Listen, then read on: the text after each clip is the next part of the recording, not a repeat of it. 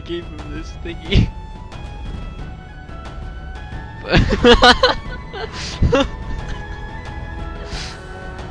he's, tr- he's trying so hard to tame his pet ender dragon.